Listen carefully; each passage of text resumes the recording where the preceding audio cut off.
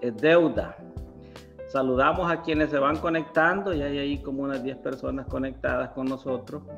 Y especialmente pues agradecemos a nuestro amigo Abel Núñez por tomarse el tiempo de conversar con nosotros de estos temas que en una entrevista de la semana pasada se tocaron, pero consideramos que habría que ver, revisar cómo están esta semana las cosas, qué avances han habido y, quizás algunos otros aspectos, ¿verdad? Que, que se quedaron por ahí pendientes y, nos toca la curiosidad. Y hemos invitado a Mauricio pues, para que también esté en esta plática, porque Mauricio, vos a ver, sabes que tiene un historial en esto de la, de la lucha por reformas migratorias, por TPS y por otros beneficios. Bienvenido, eh, Abel, a Voz de Washington Media. No, gracias por tenerme. Mauricio, voz de casa, así que...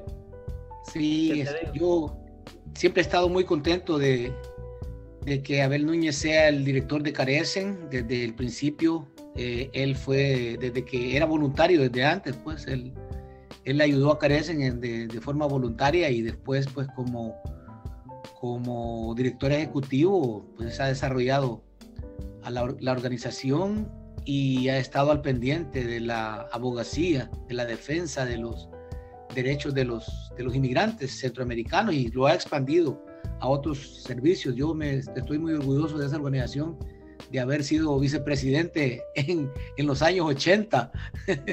Así es que de haber sido parte de esa, de esa lucha y, y este y está en buenas manos y está expandiéndose. Yo veo cómo están en colaborando con la alcaldía municipal en programas de, ayuda social y en áreas que como vivienda, pues yo, yo realmente veo cómo se están desarrollando.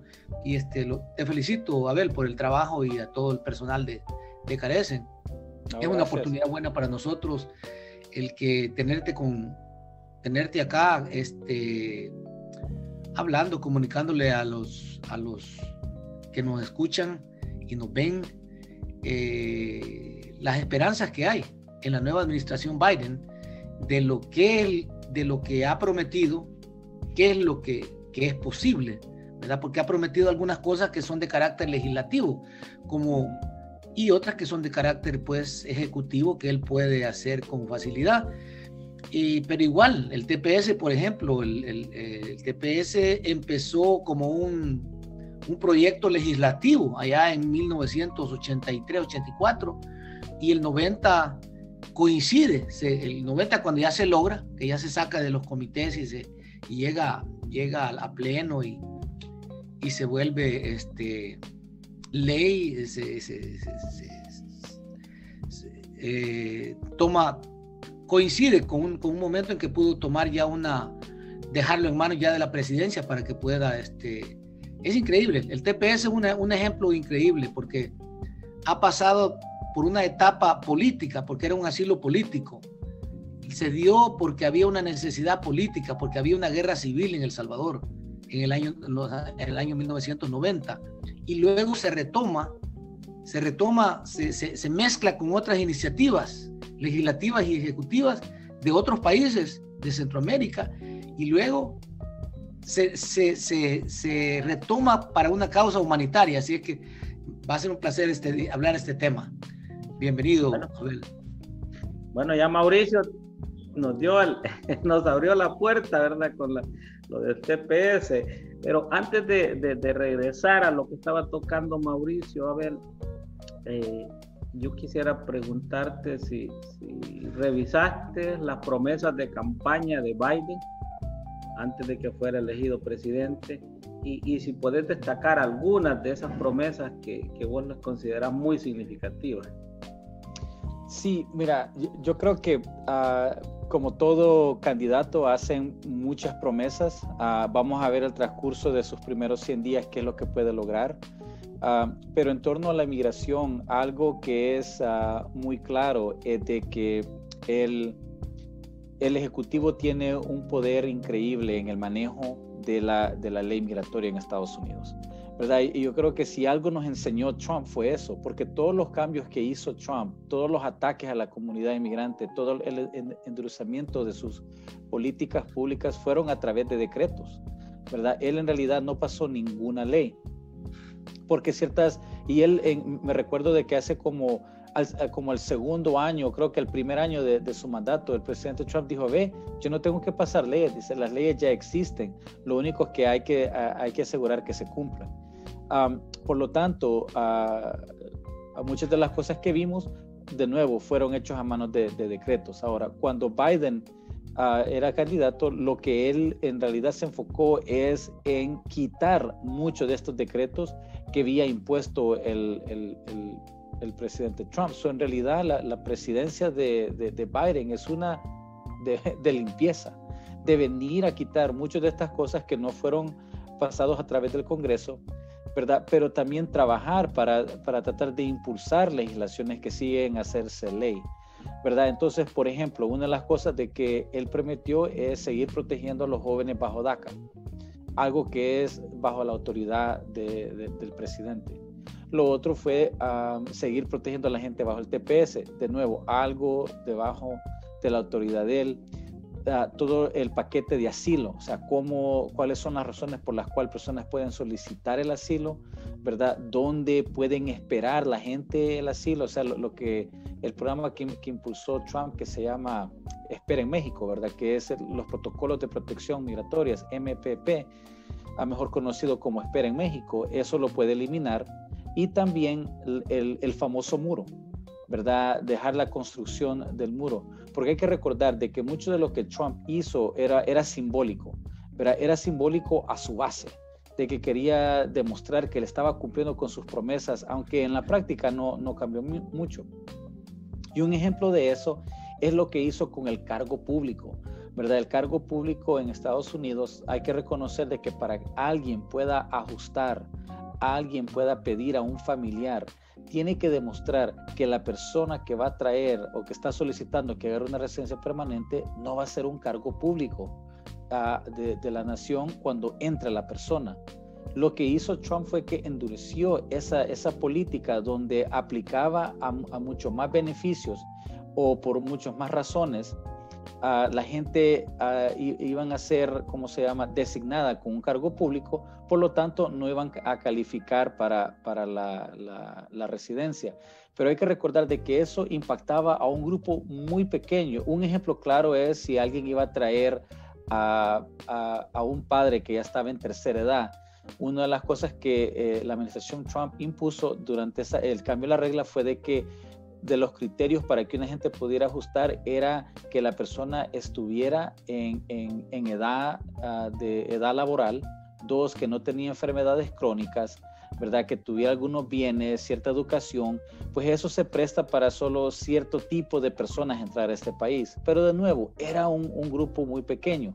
Pero en la manera que lo vendió fue de que estaba endureciendo esa, parte de la ley y lo que vimos era la, consecuencia drástica donde muchas personas en Estados Unidos, inmigrantes que calificaban para prestaciones de los gobiernos estatales hasta del gobierno mismo federal, no los querían agarrar porque ellos tenían miedo de que eso les podía tomar un impacto para ellos en un futuro poder solicitar. Yo lo que le llamo a eso es que Trump cuando y sus asesores, cuando no pudieron construir un muro físico, empezaron a construir un muro virtual, donde a través de decretos y nuevas políticas iban a detener la migración, porque ese era el objetivo de, de, Trump. Con Biden creo que vamos a regresar a la lo que le, le, dicen la normalidad, lo que era antes de Trump, ¿verdad? Otro de, las cosas que vamos a ver también va a aumentar el número de, personas refugiadas que va a aceptar. O sea, el, presidente Trump ahorita tiene un límite de 15 mil personas, cuando durante la administración de, de Obama se dejaron entrar casi 120 mil y yo creo que Biden ha prometido subirlo a 185 mil. Estas son personas que han pasado por un proceso ¿verdad? Cuando están huyendo de sus países, están esperando en países, en otros países, en busca de llegar a Estados Unidos para proteger.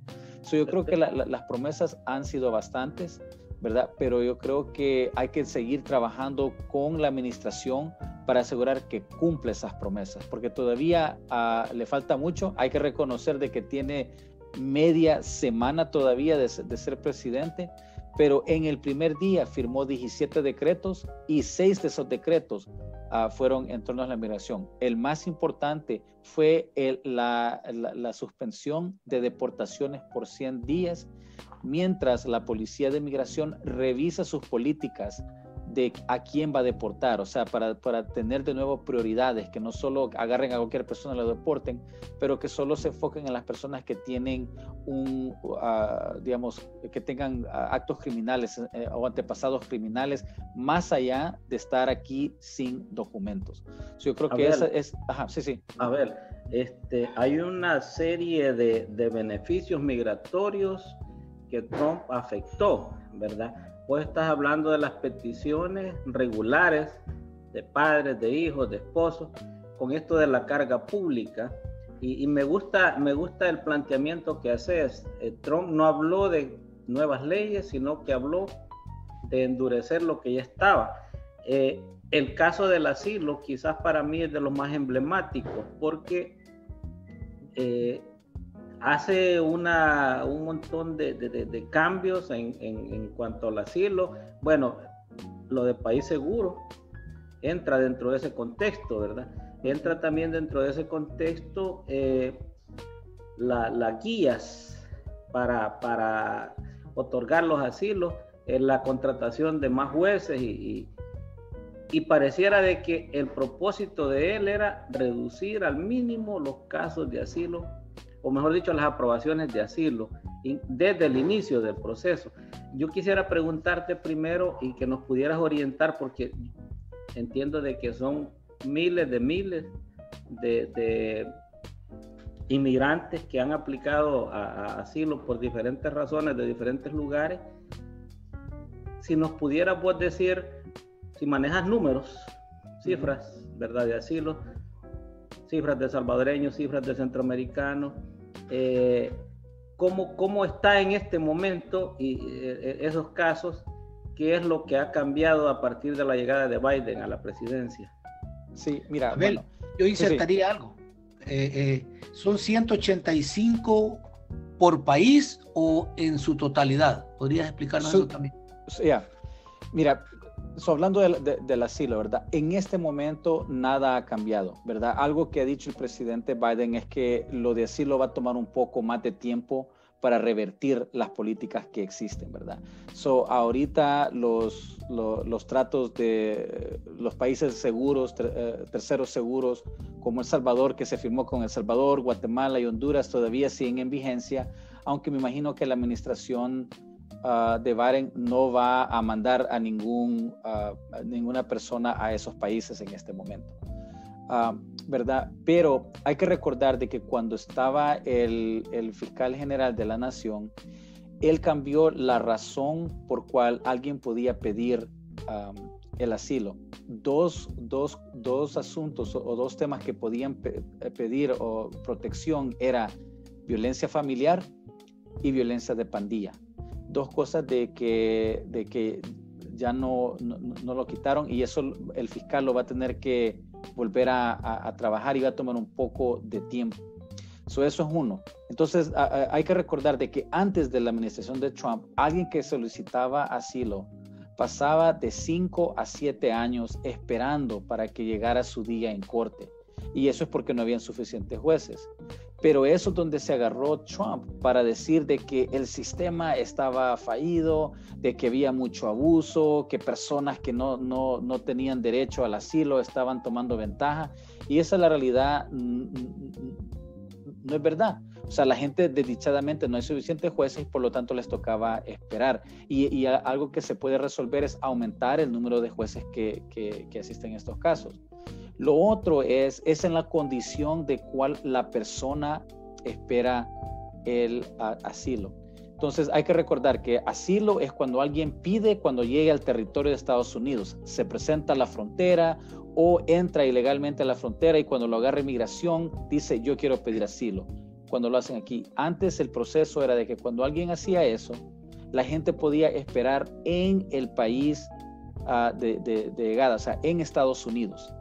Um, Trump cambió eso, hizo un arreglo con, con, con, México, donde los expulsaba de Estados Unidos y podían esperar en México mientras su caso llegaba al sistema de corte, que de nuevo podía tomar de 5 a 7 años, todavía eso sigue en vigencia. Entonces yo creo que ahorita el proceso de asilo ah, eh, eh, va a ser una cosa que Biden va a tener que ah, ah, poner bastantes recursos para resolver, pero yo creo que es el tratamiento inmediato de las personas que están esperando, por ejemplo, en México. Esto va a tener que ver mucho con la relación que tiene Estados Unidos y el presidente de México. Hay que recordar de que encima de todo esto estaba una política donde Estados Unidos ha extendido la frontera de sur, del sur México-Estados Unidos, donde llegaban los inmigrantes antes, hasta México-Guatemala. La idea era de que Estados Unidos quería ser eh, hacer más difícil las, las personas poder llegar a Estados Unidos porque el momento que llegan al territorio estadounidense adquieren ciertos derechos por la constitución. Entonces e, este proceso va en conjunto con el asilo. Pero esto tiene que ver bastante con la relación que tenga con AMLO, ah, con el presidente Obrador. Y yo creo que en este momento hay indicaciones de que en realidad AMLO no está muy contento de que Biden sea el nuevo presidente. La simple razón es de que Ah, ellos sienten de que la administración Biden va a jugar un papel más, uh, o sea, más fuerte en las políticas internas de México. Y yo creo que algo que le gustaba de Trump es que México podía hacer internamente lo que quería y, en realidad el presidente Trump no cuestionaba nada. Entonces hay, hay muchas dinámicas que están ahorita. Entonces México, López Obrador de alguna manera entró en, en complicidad, si queremos usar un término un poco pesado, con las políticas de Trump. Sí, mira, o sea, México siempre le, ha hecho el trabajo sucio a, Estados Unidos, pero yo creo que empezando con Trump y, eh, y cuando llega uh, López Obrador, dos presidentes que llegan como populistas, ¿verdad? Anti, digamos, anti-status quo, ¿verdad? Era, eh, eh, eh, eran opuestos a lo que estaba antes. En realidad encajaron bien, porque hay que recordar que cuando el presidente Obrador era candidato empezó a hablar diciendo de que el, Trump era lo peor que Estados Unidos había tenido, pero en el momento que él llegó al poder se hicieron súper amigos porque entendieron de que les convenía trabajar juntos y en realidad el nivel de cooperación ha aumentado durante, durante la administración de AMLO. Además, AMLO ha mandado tropas a la frontera, no solamente de México, Estados Unidos, pero a la, frontera de México, Guatemala, en, eh, solo para parar el flujo migratorio. Y yo creo que eso es algo nuevo que, está, que estamos viendo en, en, en, la política mexicana. Porque hay que recordar, la política mexicana en el pasado, ante los inmigrantes que pasaban por su territorio, eran no son problemas de nosotros, van en rumbo a Estados Unidos. Y hasta ahí era. O sea, siempre se exponían al peligro que es México, ¿verdad? A, los actores criminales, hasta los agentes de gobierno criminales, ¿verdad? Pero yo creo que lo que, lo que ha cambiado es de que en el territorio mexicano ahora el Estado está también prohibiendo el flujo migratorio hacia el norte. Entonces, todo eso está alineado con el asilo, porque si no pueden llegar a Estados Unidos, pues les cuesta a ellos eh, peticionar su asilo político. En esta red se han, también trabado grupos que ordinariamente hubieran conseguido asilo más rápido. Estoy hablando de los nicaragüenses que tuvieron que salir de sus países por, lo que está pasando en su país, venezolanos que ahorita han tenido un éxodo masivo, de que en administraciones previas hubieran sido los primeros en conseguir un asilo político por los gobiernos que están y el conflicto que el gobierno de Estados Unidos tiene con esos países. Pero lo que se ha visto es que todos se han atrapado. Ahorita se, ven cubanos, nicaragüenses, venezolanos trabados en México sin poder acceder a las cortes estadounidenses o empezar un proceso de asilo esperándolo en Estados Unidos, donde probablemente tienen familia o otras redes que les pueden ayudar a sostenerse. Eso es lo que estamos viendo en este momento. Mauricio, sí. tenías algo sobre qué ibas a decir? Sí, yo creo que hubo coincidencia o sea, la política de los planes de, López Obrador de implementar una, una, Guardia Nacional. México nunca había tenido esa, ese componente en su política y además México siempre ha jugado de país neutral. México ha sido, tiene un historial de solidaridad y de puertas abiertas a refugiados políticos y asilados políticos de muchos países del mundo, desde España, desde de, Europa mismo, este, de, Rusia y de América Latina ya no se diga. Así ahí, ahí tuvo a los Castro cuando salieron de, Cuba, ahí tú ha tenido a muchos suramericanos. Entonces ahora como que se rompieron varias cosas y este, incluso para que México haya tenido dinero para darle 30 mil dólares al Salvador, para dar ayuda ya. O sea, quiere decir de que... 30 millones. ¿Ah? 30, 30 millones. 30 millones. Quiere decir de que México recibió una cantidad superior para, para poder, eh, este, porque México en sí, ¿qué conveniencia tenía México en, en, gastar en, en, autoridades para detener el flujo migratorio? No, no, nunca se ha tomado eso, eso, nunca ha dedicado ese presupuesto a hacerlo. Entonces, en esta vez lo hizo y le ayudó mucho a Trump, porque Trump se ve como que deportó menos, menos, gente, menos inmigrantes que, que Obama, cuando la verdad es que los otros, en, durante la administración de Trump, quien los deportó fue México o Guatemala, o El Salvador, o, Honduras, ¿verdad? Entre ellos mismos se deportaron. Fue una, una medida inteligente, pues, no necesariamente humana, pero inteligente, no, no, no, no sin sentido, pues, porque ¿cómo le vas a decir, cómo, cómo le vas a decir a países que entre ellos demuestren que son seguros cuando tienen éxodos nacionales? ¿Cómo? ¿Cómo un país con un éxodo, éxodo le puede decir a otro, le puede regular el éxodo, el éxodo a otro? No creo, eso es, no tiene sentido. O sea, pero así ocurrió y así está planteado. ¿Verdad? Y, yo, yo agregaría de que en retórica que dice los presidentes populistas se oye bien en la población. Por ejemplo, a López Obrador habló mucho de, de que el flujo migratorio se, se, se para cuando se, toman en cuenta las causas raíces y de que hay que invertir en los países del Triángulo Norte, ¿verdad? El Salvador, Guatemala, Honduras, para que la gente no salga del país. Y eso es lo correcto en decir. La cosa es el hecho. ¿Qué, debe, ha sido esa inversión? ¿verdad? ¿Cómo es que está trabajando con la región para asegurar eso? Y, cambios que no van a ser de un año o de cuatro años, sino que van a ser décadas, porque tomaron décadas para llegar a este punto. Yo creo que Biden también en este momento usó parte de su retórica en hablar de que el flujo ah, para parar un flujo migratorio no solo es la, fuerza militar que puede uno tener, pero también la inversión en la región, particularmente en Centroamérica.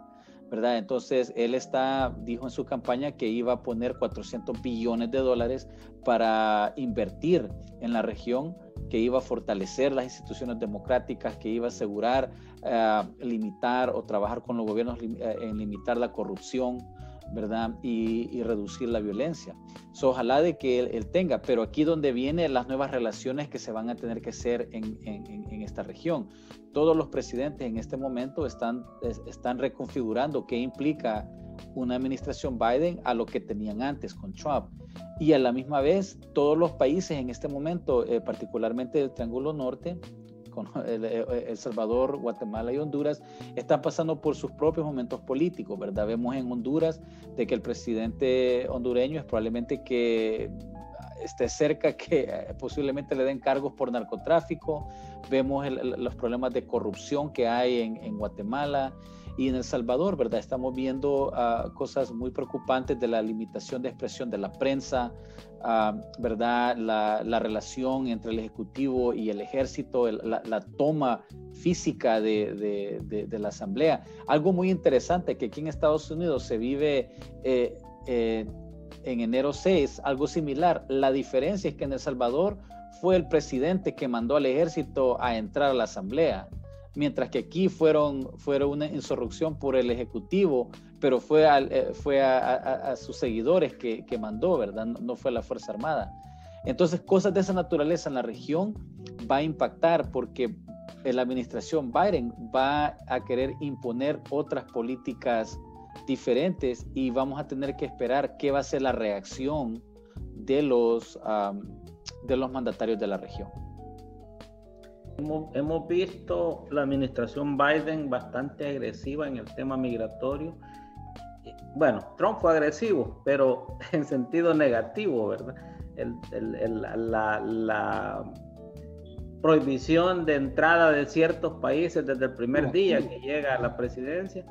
Biden a la inversa, ¿verdad? Suspender esas medidas eh, y ya está presentado una propuesta de reforma. Pero antes de entrar a la propuesta de reforma, yo eh, quisiera que nos hagas así un, un, punteo, ¿verdad? Eh, breve de cuáles son las primeras medidas en, el orden migratorio que ha tomado Biden, porque para la comunidad latina especialmente es esperanzador que el presidente de los Estados Unidos vea como una de sus prioridades los problemas con, la inmigración irregular. Sí, bueno, mira, las cosas que él hizo de, los decretos que él firmó su primer día, el primero, ah, uno de, esos seis tenía que ver con la eliminación del estado de emergencia que le daba la autoridad al Ejecutivo a tomar dinero de, o fondos de otros lugares para pagar el muro. So, él paró la construcción del muro en este momento. Eso, eso se paró. Dos, reforzó de nuevo DACA, o sea, o, redobló su compromiso con el programa de los jóvenes que, se perdió en las cortes, aunque la corte le dio el, ganó el, juicio los jóvenes, pero él se comprometió a todo eso. De ahí firmó otro decreto de que era del censo, porque lo que Trump hizo fue que no iba a contar a las personas indocumentadas para redesignar los distritos políticos en, el, eh, en el reconteo, Ah, y ahora Biden lo que hizo, no, que va a agregar de nuevo a la, comunidad indocumentada como parte del conteo del censo para redistribuir los distritos políticos ah, en el Congreso. Entonces son, son, son decretos bastante ah, rápidos que él podía hacer el primer día, ¿verdad? Pero también va a ser, eh, vienen por venir más decretos más, ¿verdad? Y, habló de la, de la, carga pública que mencioné antes, que, que va a revertir todo esto y, yo creo que ahora el enfoque de él sí va a ser la, la, propuesta, lo que le dijo él, la propuesta de primer día de inmigración que él, que él manda, que en realidad cambia un poco el esquema de otras, de, otras legislaciones que se han presentado, pero yo creo que lo que tenemos que ver aquí es de que como necesita de que esto lo haga con el Congreso, lo que tenemos que tener cuidado es de que no no deje solo una bandera plantada en el Congreso y no pase acción y diga yo intenté pero nada pasó en vez de tomar otros. Porque otras cosas que puede hacer para terminar aquí el punto es, puede redesignar un nuevo TPS, ¿verdad? Para los países centroamericanos, particularmente por lo que, lo, que han sufrido ah, con el huracán, ¿verdad? Eso es algo inmediato que en realidad cubriera a cerca de un millón de personas, ¿verdad? Guatemaltecos, hondureños, nicaragüenses, hasta salvadoreños, que pudieran, aunque no fuera algo permanente, les, daría una estabilidad, así como se los ha dado a otras personas que han entrado, en, eh, eh, a otros países que han entrado al TPS. Eso, son cosas que puede ser rápidamente. Se nos ha ido Mauricio. Sí, quiero hacer dos puntos. Uno es de que tú los mencionaste, pero quiero enfatizarlos, que son el hecho de que Trump haya extendido lo que puede ver una México como una como una amistad, o sea, extendió su territorio en el cual puede reforzar su ley, puede aplicar su ley hasta la frontera con Guatemala. Es más, la extiende hasta allá porque entre ellos mismos no podían los salvadoreños no debían dejar pasar a los hondureños para acá. Los, guatemaltecos no debían dejarlos pasar, debían de detenerlos allá y darles, darles un, proceso un, facilitarles un procedimiento mediante el cual tenían que, que ser aprobados para poder pasar su frontera. Entonces, en ese sentido, yo creo que es, es para México no lo, no lo tiene claro, no sé si no lo tiene claro o simplemente está jugando a la política, pero cedió su territorio para que la, la ley de Estados Unidos se aplicara en México. Y todavía está vigente, como tú lo dijiste. Lo otro sobre lo que creo que va a ser muy difícil, porque 400 millones no son suficientes para generar desarrollo económico en tres países. Yo creo que es bien, la, la, para detener la migración tiene que haber desarrollo económico y social real. No puede haber porque los, las poblaciones eh, huyen de sus países cuando tienen problemas políticos, de, de seguridad física, de violencia o por hambre, porque no tienen eh, eh, buenos empleos que les satisfagan sus necesidades. En ese sentido, yo escuché hace como una semana que El Salvador está contento de que, de que El Salvador sea, la producción de azúcar en El Salvador sea la que endulce Europa, que endulce Inglaterra y otros países europeos.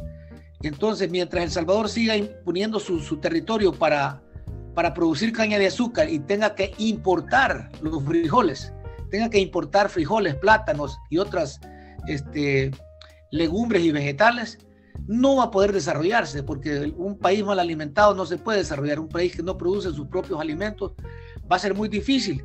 Y yo no sé si con 400 millones se le puede, se puede afectar la economía de tal manera que pueda ser autosuficiente, por lo menos alimenticiamente. Aunque, digamos, este, estos países necesitan mucho más que eso. Y Estados Unidos, si en verdad quiere, quiere este, parar la migración, eh, porque de alguna manera tiene responsabilidad Estados Unidos porque la ha generado. Los países europeos que han estado comprando productos de Centroamérica muy baratos y han estado subiéndole a, los, productos que exportan para allá, de los cuales la gente depende para su funcionamiento, este, han sido, no han obedecido a un plan justo, a un plan objetivo, es decir, que no va a generar eh, eh, deserción, éxodo, ¿verdad? Que no va a generar este, eh, migración. Entonces yo creo que se tiene que poner mucha atención a eso y Estados Unidos tiene que invertir más y mejor, una mejor inversión. Quizás invertir en vez de que quede en las personas que escriben los programas o en las personas que, que manejan allá los programas, que de verdad, en verdad vaya a producir desarrollo. No crecimiento, crecimiento económico se queda con los, se queda con los empresarios que lo, que lo, que lo ocasionan, que lo, que lo tienen en sus compañías, lo producen, pero desarrollo económico, que la gente pueda, pueda este, desarrollar habilidades para poner sus propios negocios, para poner sus propios talleres, para producir cosas que, eh, productos que, que, son comprables en otros países, ¿verdad? Por ejemplo, lo, lo, en China tenés niños haciendo, haciendo paneles de, energía solar y El Salvador tiene que importarlos quizás enseñar ese tipo de tecnologías y la agricultura, que es, es, este, es una cosa básica en El Salvador y otros países. 400 millones, a ver, o 400 mil millones. Ah, no, 400 billones, lo que dijo que, que quiere. Ah, son 400 mil millones entonces. Pero, pero eso tiene que ser aprobado por el Congreso, ¿no? O sea, él puede pedir, pero que, quien... Ah, es una propuesta, aún. Sí, sí, o sea, quien, quien, quien controla el presupuesto del país es el Congreso, ¿verdad? Eso, es lo que quiere, o sea, de nuevo, estos son planteamientos de su candidatura, pero yo creo que cambia el esquema porque nunca en este país, en Estados Unidos, el tema migratorio siempre se ha visto como un tema ah, de ley doméstica, ¿verdad? Y, nunca ponen en mente la, la, política externa. Entonces a veces ah, el problema con eso es de que hacen Estados Unidos cuando están ejerciendo sus políticas externas, causan problemas que después llegan a la... una de las consecuencias son los flujos migratorios, ¿verdad? Si, si bien vemos el apoyo del conflicto armado en El Salvador, una de sus causas fue el flujo migratorio, que aumentó después de cuando dieron los acuerdos de paz. So, yo quiero que eh, eso hay que tomar en mente y, y, también para la gente que nos esté oyendo que esté claro, porque la barra estaba tan bajo comparado a Trump, no se debe de asumir en ningún momento que las puertas de Estados Unidos están abiertas.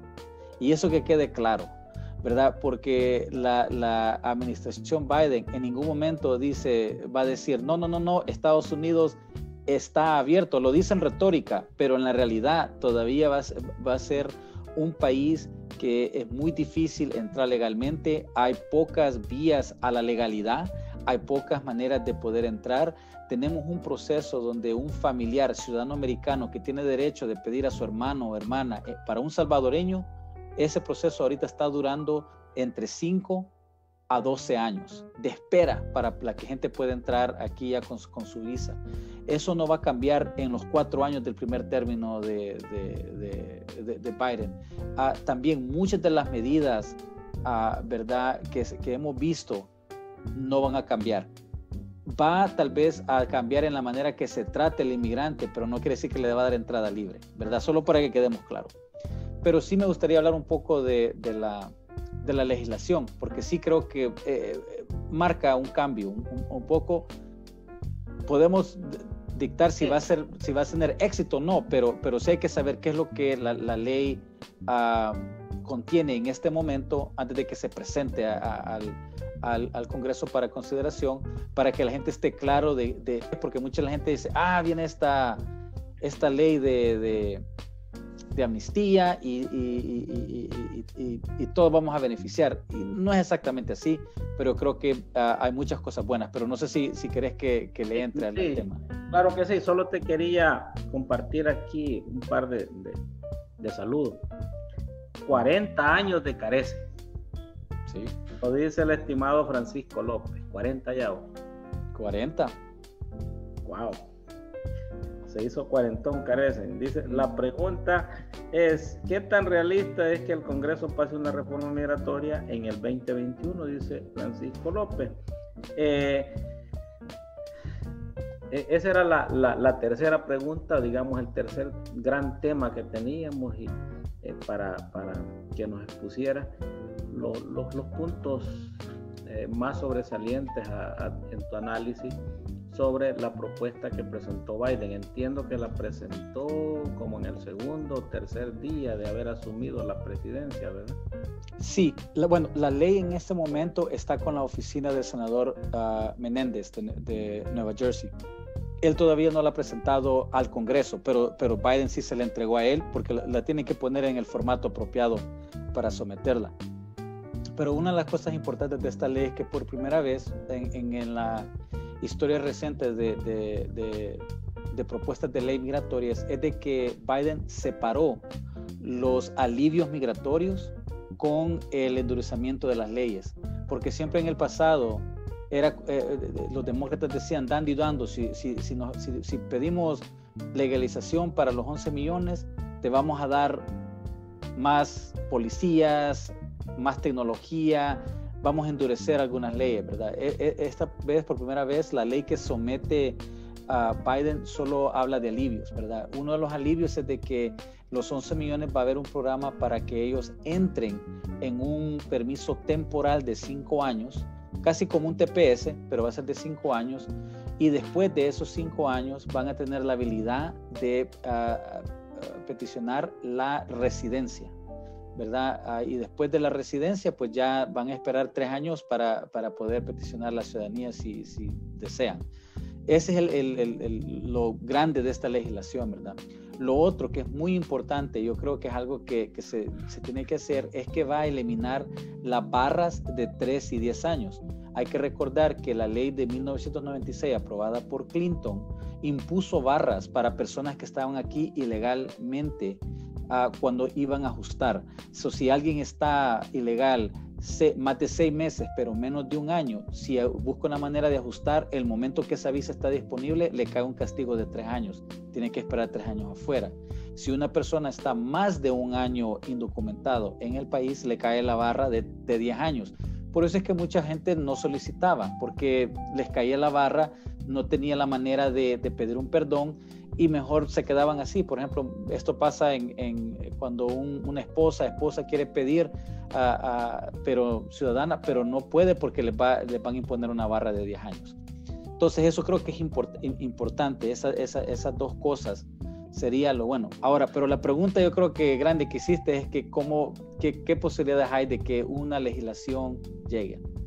Históricamente, legislaciones que son tan amplias realísticamente no tienen un, buen chance de poder llegar a ser ley, ¿verdad? Y este año no cambia eso y además estamos en una situación todavía un poco más precaria para el presidente. Primero, la Cámara de Representantes perdió, eh, ya no es una mayoría grande, sino que la mayoría redució en estas previas elecciones. Y el Senado, aunque los controlan el demócrata, está dividido 50 y 50. Eso implica que necesitaría encontrar 10 republicanos senadores que apoyen esa propuesta para dar. Y dudo que algún republicano acepte la ley como la ha presentado y van a haber negociaciones. Yo creo que esta ley es un, como muchas otras, es muy comprensiva y no va a tener en realidad una oportunidad, pero sí abre el marco para discutir el tema. Y yo creo que lo importante es de que se sometan legislaciones más pequeñas que tal vez sí tengan oportunidad. por ejemplo, a la misma vez que se somete esta ley, otros senadores y congresistas se han comprometido a pasar una ley específicamente para proteger DACA y TPS. Hay otras legislaciones que, quieren pues aumentar el, número de personas que pueden entrar refugiados. So, hay varias leyes pequeñas. yo creo que la ley en sí de Biden va a estar muy complicada para, pasar, pero el diálogo y la negociación que puede suceder puede abrir la oportunidad para que paquetes más pequeños puedan llegar a ser ley. Y una de ellas sería la, regularización de los TPS y DACAS. Eso es lo que esperamos, ah, principalmente en este año, porque lo otro que hay que recordar es que todavía estamos viviendo una pandemia donde el país tiene que recobrar económicamente. Y la realidad es de que para la administración esa es su prioridad número uno y dependiendo cómo el presidente maneje la pandemia que se vive, le va a abrir o cerrar las oportunidades de otras legislaciones que quiera imponer. Entonces, vos no ves viable que pase este proyecto tal como ha sido presentado, tal vez con algunos ajustes y tal vez algunas peticiones más pequeñas. Siempre se pide lo más, pero paralelamente se pide algo, algo algo, eh, algo más, más pequeñito para que sea aprobado. Y por lo que estoy entendiendo, descartar por completo una amnistía o una especie de IRCA. No, yo, yo diría que no, no. Yo diría que eso no, es. Dice que no descarta que, que, que, que, no, hay, no vaya a haber una, una, una amnistía, sino que una amnistía abierta, ¿verdad? Sí, hay, que reconocer de que así como se ha presentado, o sea, porque eso es lo máximo, que los 11 millones en 5 años se hagan eh, residentes permanentes, que tengan la habilidad de ser ciudadanos, pero yo creo que ese, es el sueño, porque eh, estamos un, un partido republicano uh, que está en minoría, pero es una minoría activa. Y, los republicanos tienen sus problemas en este momento, ¿verdad? Ellos están divididos, pero eh, en esa división, así como pueden haber oportunidades que los, demócratas se pueden unir en ciertas cosas, cuando hablamos de un paquete, para darte un ejemplo, el paquete de estímulo para promover la economía del coronavirus, el paquete que ha pedido que a la gente de Estados Unidos le den un cheque, un cheque de estímulo de 1.400 todos los republicanos dijeron que estaba muerto a llegar ese proyecto a, la, Asamblea, al Congreso.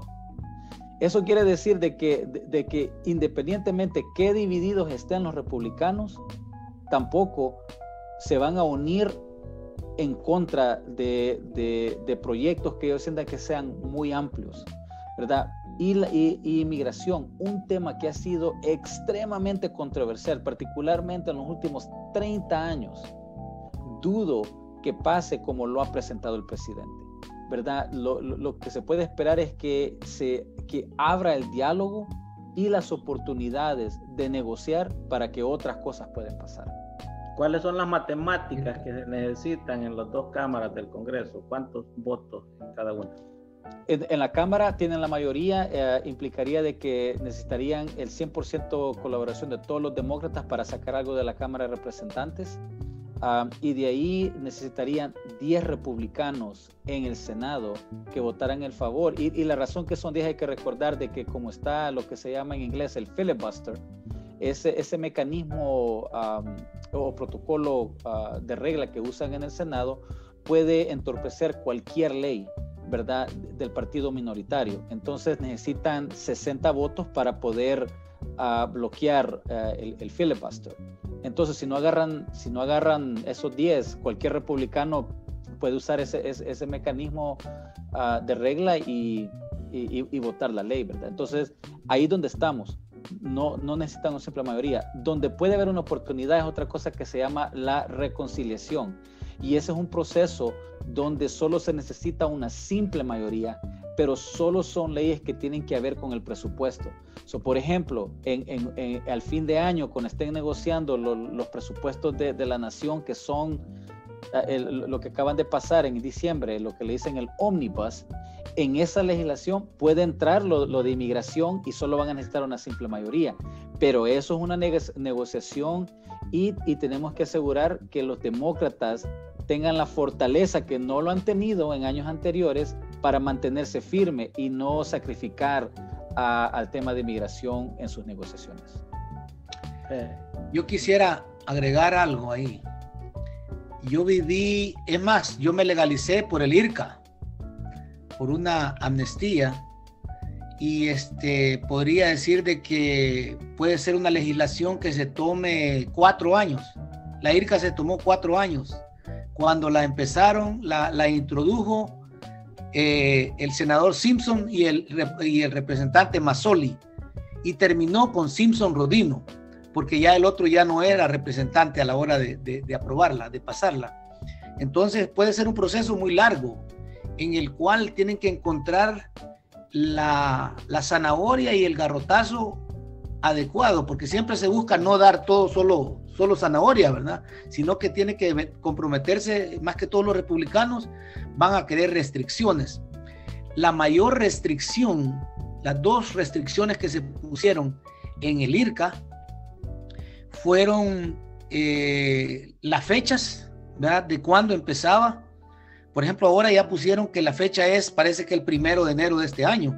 Sí, la nueva legislación, eso, esa es la fecha. Sí, primero de enero de este año, y en aquel tiempo se discutía que fuera el 80 o el 82, ¿verdad? Entonces, cuando esas cosas se pelean, la otra cosa que se peleaba era eh, la aprobación de, de presupuesto para, para controlar la migración en la frontera, ¿verdad? Y el tercer componente que es muy importante es de que se, se pudiera penalizar a los empleadores que, tenían trabajadores indocumentados.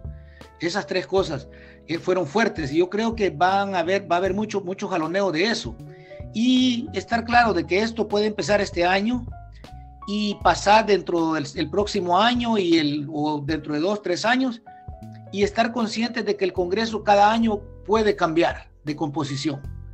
En noviembre de este año va a haber otra elección y con temas así como ese, lo que está pasando con el COVID, muchos van a perder votos, muchos republicanos van a perder apoyo en sus, en, sus electorados y puede que no vengan el siguiente año. Puede que no vengan y puede que la composición del, del, del Congreso el próximo año de la Cámara Baja tenga más votos o puede que tenga menos, ¿verdad? Depende con la, con la habilidad que los partidos jueguen la política de este momento. Pero yo siento, siento en ambos, eh, siento en vos, Mauricio, y, algo en haber también de que estamos asumiendo que los demócratas van a votar por en favor de, las propuestas eh, de las propuestas pro inmigrantes, digamos así, de reformas eh, que en beneficio de los inmigrantes. Y yo entiendo de que no es del todo el caso. No, sí, el, el, argumento que yo, yo, cuando yo lo discutí era, era sobre eso, era asumiendo de que, que, que la, el liderazgo demócrata puede asegurar que todos los demócratas voten en favor. Pero hay, algo que recordar de que cuando los demócratas ganaron la mayoría hace dos años, muchos de los, de los demócratas que ganaron eh, se, se llaman Blue Dogs, así le dicen, son demócratas conservadores, ¿verdad? Que están en distritos donde, donde hay posibilidad que puedan perder su, su, próxima elección y eh, están más abiertos a votar en contra de temas controversiales como la inmigración, como los gastos ah, de, ayuda a, particularmente a, comunidades de color. Y, yo creo que ese va a ser el reto. Por eso es que este paquete, aunque el presidente lo haya prometido de campaña, yo creo que e, es, algo que, que hay que tener cuidado, porque él ha cumplido con su promesa en decir que lo iba a someter pero él después se puede limpiar las manos diciendo, bueno, señores, yo hice lo que prometí, fue el Congreso quien no lo pasó.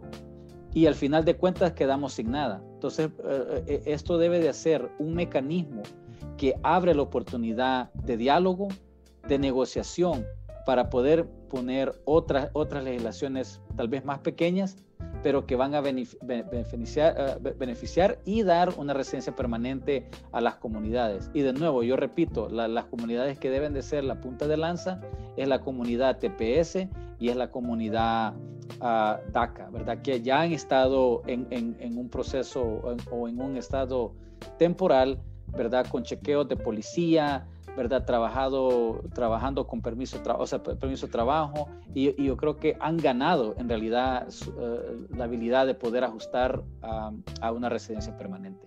Y de ahí hay otras cosas que se deben de arreglar en la, en la, en la, política migratoria, ¿verdad? Pero yo creo que en lo principal, ver y después ver cómo atacamos a, e, a esos 11 millones para ver cómo les conseguimos la, legalización. Para decirte, hay una propuesta de ley de legalizar a todos los trabajadores esenciales durante la pandemia, donde muchos de esos 11 millones encajarían, no todos, ¿verdad? Pero tenemos mucha gente en la construcción, en el cuidado de salud, ¿verdad? Que han, estado al frente de esta pandemia y han sido las víctimas de, este virus.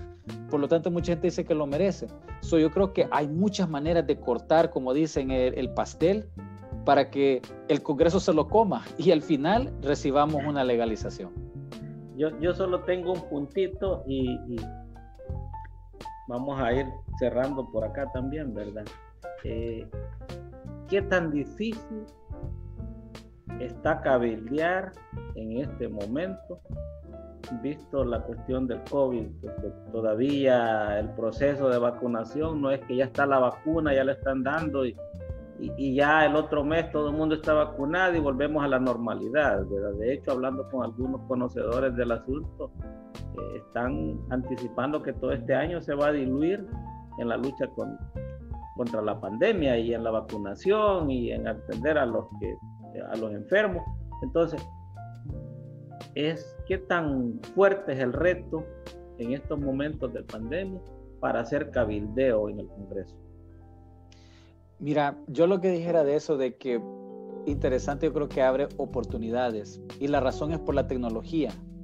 Porque a veces hacer cabildeo antes de COVID, especialmente cuando conocíamos campañas nacionales, era de, gastar recursos en movilizar gente de diferentes estados hacia Washington, buscándoles alojamiento, ¿verdad? Asegurando los paquetes y todo eso pero con, con, el cover, ahora con, a través de la tecnología, se puede reunir uno más fácil con, con, con todos los, los, oficiales. Y yo creo que lo que, lo que cuenta en cualquier trabajo de, de cabildeo es las relaciones que uno construye con, con, las oficinas. Y yo creo que en este momento estamos mejor posicionados que antes. O sea, hemos hecho el trabajo ya por muchos años y hemos desarrollado buenas relaciones con las, las, oficinas claves en, en, el Congreso. Y yo creo que para las nuevas, nuevos grupos, nuevas personas que están haciendo cabildeo, en realidad no está cerrado hacia uno. Lo que uno es, llamar, intentar y empezar a construir esas relaciones. Y ahora con el Zoom facilita un poco más, ¿verdad? Porque eh, eh, no tiene que movilizarse uno físicamente, lo, hace, lo hace más fácil. Pero la, la pandemia sí va a impactar porque la nación está impactada y eso es la prioridad. So, el oxígeno en el Congreso, ahorita todo se eh, eh, eh, va en giro a, la pandemia, ¿verdad? A, la vacuna, a cómo recobramos la economía. Y yo creo que todos los otros temas, quiera o no, están en segundo plano. Y yo creo que la lucha de nosotros es cómo vemos las coyunturas políticas y las oportunidades para cuando esté el momento apropiado podamos tomar ventaja y, meter una propuesta de ley que beneficie a nuestra comunidad. ¿Algo más, Mauricio? Antes en cuanto, eh, tengo una pregunta y un, un, aporte, ¿verdad? Eh, en el pasado, para cuando el, el TPS estuvo en el, en el, Congreso, que duró seis años en el Congreso para pasar el TPS, que se llamaba EBD, Extended Voluntary Departure, y este pasó ese tiempo y nosotros hicimos huelgas de hambre, caminamos de New York para acá, y ya después al final se quedaron unas, ya no, yo ya no participé mucho, pero hubieron muchas caravanas de vehículos y todo eso, y visitas al Congreso. Ahora se ha sofisticado eso. Ahora eh, con la pandemia pues se vuelve más virtual y se gasta menos. Antes solo en la caminata que hicimos de New York para acá gastamos 60 mil dólares en pasajes, en sombreros, zapatos, etcétera, todo lo que se gastó. Pero, y, muchas de las organizaciones, Alianza, la red de, de, Carecens, el Rescate y muchas otras organizaciones, Centro Presente de allá de Boston, eh, jugaron un papel muy importante. Y este, también en los últimos años, en los últimos años de TPS jugó un papel, eh, no quiero decir los gobiernos, voy a decir no la embajada, pero los gobiernos, las representaciones de los gobiernos que vinieron acá, que vinieron diputados, vinieron este, gente de los gobiernos, específicamente de El Salvador. Esas personas especialmente ayudaban porque en su mayoría eran de derecha, entonces para ellos les era natural hablar con los republicanos. Entonces, Abel, te pregunto, yo te escuché decir de que el, el, programa con Julio Villagrán, te escuché decir que habías hablado con la embajadora y que habían, habían bueno, este, hablado de cooperación y todo. Y, digamos, en esta ocasión, ¿será que el, el, gobierno de Bukele va a poder este, eh, hablar con los republicanos, porque los demócratas hablan más que todo con, con ustedes, ¿verdad? Con la gente que está de las organizaciones que hacen cabildeo, los conocen por nombre. En la Casa Blanca también la gente que está ahorita en migración los conoce a ustedes, porque muchos de ellos incluso trabajaron, trabajaron en las organizaciones comunitarias, como la gente que trabajó en la raza y etcétera. Pero se va a tener esa colaboración, digamos, de los gobiernos que vengan a hablarle a los, a los ah, republicanos. Sí, yo creo que la diferencia que estamos viendo ahora es el, tipo de republicano que se encuentra ahora en el Congreso, ¿verdad? En realidad el, republicano moderado ya casi no existe, ¿verdad? Alguien que uh, esté dispuesto a, negociar. ahorita la división política es tan ideológica que se encuentra hasta muchos republicanos con los que nosotros podíamos hablar antes, ya no están en, en sus funciones, ¿verdad? Eh, eh, estamos ahora senadores como, por ejemplo, el senador Cotton, el senador Hawley, que son ideológicos, ¿verdad? Y de que ellos se plantan de, de, de, una narrativa que el inmigrante es el enemigo del Estado.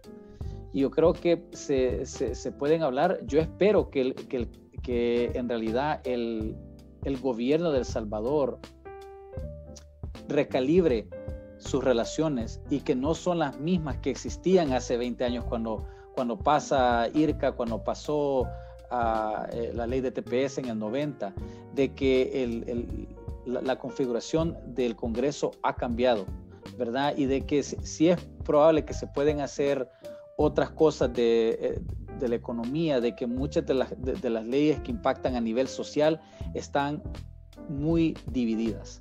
¿Verdad? Y, se ve aquí internamente en el país, la, el, con cosas sociales, y yo creo que ese es algo, una, una debilidad que tenemos, porque, ¿verdad? Uno, uno de los retos que nos dicen a nosotros, busquen, nos dicen, busquen un republicano, y nosotros preguntamos, ¿a qué republicano crees que vamos a hablar?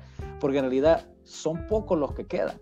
¿Verdad? Y, vaya, solo para darte un ejemplo claro, Marco Rubio, que fue uno de, de, la pandilla de ocho que quisieron pasar la previa legislación amplia de ley, se quemó porque pagó un precio alto político. Yo creo que ahora no está dispuesto a, tomar la batuta de, inmigración. Además, creo que estuviera más dispuesto a tirarle piedras a, lo que impone eh, cualquier otro. Entonces, ese es el reto que, estamos eh, viviendo. Y yo creo que no solo en el ámbito de inmigración, pero en muchos otros temas donde se podían buscar republicanos que, aunque tal vez no, no, no coordinábamos en, en muchos temas, pero sí en algunos podíamos, había coyunturas que ahora son muy pocas. Yo creo que el gobierno va a tener que ser un poco más hábil, ¿verdad? Un poco más pragmático, pero yo creo que algo que, que, sí no hemos sentido es que no han hecho el alcance a, las a, las a las organizaciones de base, ¿verdad? Para que coordinemos un poco más, ¿verdad? Yo creo que, yo creo que hasta en tiempos de gobierno de arena se podía hablar con, con los oficiales del gobierno de El Salvador para por lo menos coordinar ¿verdad? nuestras estrategias y ahora en realidad con el, con, con, con el gobierno de, de, Bukele particularmente, sí hablamos, pero no hay un nivel de, de, coordinación y además ellos están caminando por su propio camino, donde ellos quieren imponer su política de la manera que ellos ven, sin necesariamente consultar con, con, con bases de, su, de sus nacionales. Bueno, la verdad es que queda uno picado cuando comienza, comienza a hablar de estos temas, ¿verdad? Y, alguien que está en el medio y en, esa, en esos esfuerzos nos comparte y, nos desmenuza todos esos puntitos. La verdad es que eh, yo siempre aprendo de platicar con, con Abel, ¿verdad? Siempre hay algo nuevo que, que nos comparte y, se te agradece, Abel, por esa disposición y, y, por esa paciencia, ¿verdad? Porque también nos está repitiendo algunas cosas que a veces se nos olvidan. Yo no sé, Mauricio, si tenés algo más. Yo diría que yo tengo la esperanza de que la insurrección en el Congreso pueda samanguear el, la mentalidad que tienen los legisladores y haya una moderación, porque realmente el estar este, agitando al pueblo para que tome medidas extremas no ha funcionado, lo lleva a una implosión legislativa, a una, a una destrucción, a una, ¿qué te dijera? Hay un atentado contra la democracia y el, el, sistema republicano. Realmente, si, si, si se sigue en esta dinámica de seguir agitando el extremismo, se puede llegar a no tener, a ser senadores y, representantes de un gobierno que ya no existe, de un, que ya no tiene tres poderes, sino que un solo poder. Yo creo que ellos tienen que, yo confío en que va a haber esa, esa evolución y una recomposición de la clase política. Yo le, le diría un mensaje a la, a la población, que más que todo a los inmigrantes que nos están viendo, que tengan paciencia porque puede ser un proceso que no, no es algo que va a pasar en un año. No va a pasar en un año. Esta ley de esta amnistía, si pasa, no va a pasar en un año. Puede pasar varios congresos.